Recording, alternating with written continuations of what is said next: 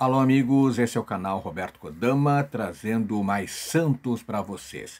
E olha a informação: Teixeira fala sobre Patrick, troca com Fortaleza, compra de Rainer e afastamento de Morelos. Vamos saber detalhes desta informação neste vídeo, mas antes eu peço a você, meu amigo, alô torcedor do Peixão, te inscreve no canal, dá joinha, deixe o seu comentário e compartilhe este vídeo.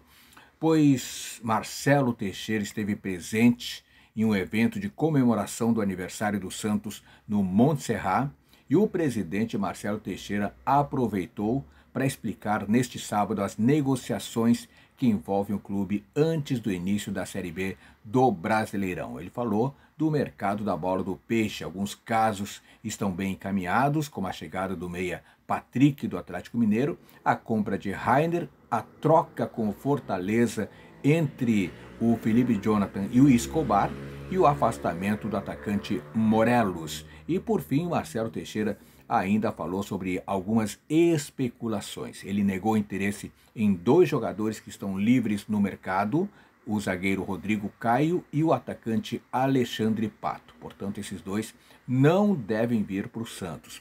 Olha as explicações de Marcelo Teixeira. Sobre a compra de Rainer, ele falou que houve uma comunicação por parte do Azures e que esperava o documento do interessado.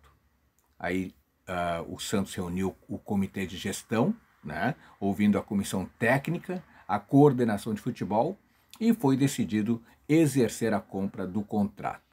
Já estava definido, inclusive, em contrato que poderia ser uma compra parcelada, né, só não havia definição o número específico de parcelas e é o que está sendo discutido neste momento. São coisas que não se decidem rapidamente, disse o presidente. O mais importante é que o Santos exerceu o direito de compra. Quanto à troca de Felipe Jonathan e Escobar, o Felipe acertou mais rápido e o Escobar foi algo mais demorado, com outros padrões de valores. Tem que haver o enquadramento ao teto salarial do Santos. Não fugiremos da nossa realidade, disse o presidente. Está bem encaminhado para o acerto.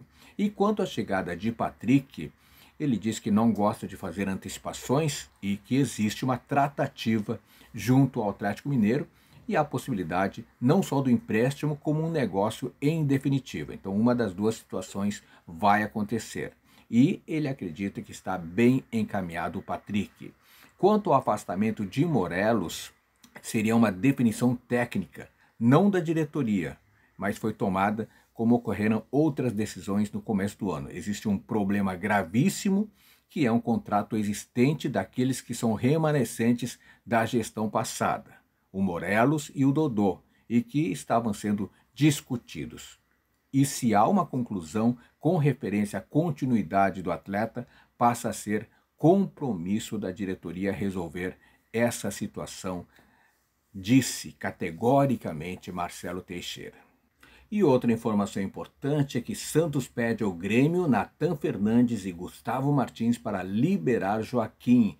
Zagueiro do Peixe interessa ao Grêmio, que já sabe das condições para fechar com o defensor de 25 anos. Negócio seria por empréstimo. O Grêmio que acumula duas derrotas seguidas na Copa Libertadores e liga um sinal de alerta. O Imortal vive situação delicada na competição continental e pode ser eliminado na fase de grupos.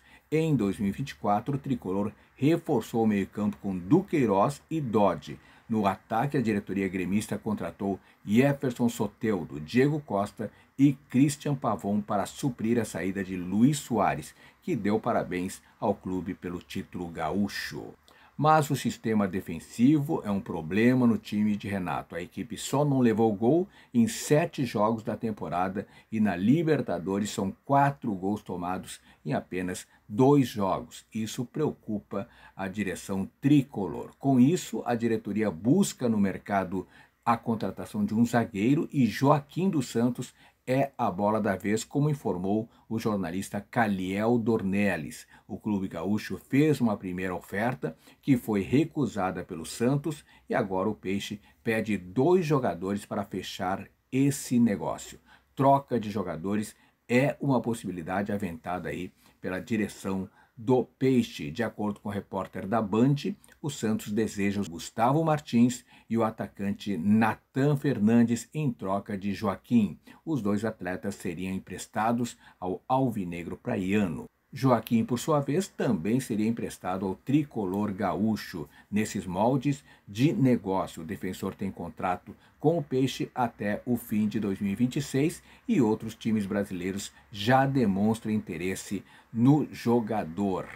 A primeira oferta do Grêmio ao clube da Vila Belmiro foi uma negociação em definitivo. A direção gremista ofereceu 1 milhão de euros à vista, cerca de 5 milhões de reais na cotação atual, e mais o meia Natan Pescador, o que foi prontamente recusado pelos Santistas. Inclusive, o tricolor está buscando negociar o meia no mercado da bola e recebeu uma sondagem do Goiás, mas o Pescador não demonstrou interesse em atuar no Esmeraldino, como informou Caliel Dornelles. Duas joias do elenco tricolor podem chegar no Santos. Natan Fernandes e Gustavo Martins são duas revelações do Grêmio e começaram a receber uh, oportunidades no elenco profissional no ano passado. Atualmente, os dois figuram no banco de reservas da equipe. Fernandes, por exemplo, tem contrato com o Imortal até o fim de 2028 e multa de 60 milhões de euros, 325 milhões na cotação atual. O jogador tem apenas 19 anos e marcou gol na final do estadual. Gustavo Martins, que já despertou interesse do futebol europeu, encaminhou em março a sua renovação contratual com o clube gaúcho. O zagueiro tem seis jogos na atual temporada. Resta aguardar se a direção gremista vai aceitar liberar a dupla por Joaquim. Tais informações do Peixão aqui no canal Roberto Kodama. Se gostou do vídeo, dá joinha, dá joinha que sempre apoia o canal. E o mais importante, meu amigo, alô torcedor do Peixão, te inscreve no canal. Te inscreve no canal, porque aqui no canal Roberto Kodama, você sabe tudo sobre o Santos. Muito obrigado, beijo no coração e fique com Deus.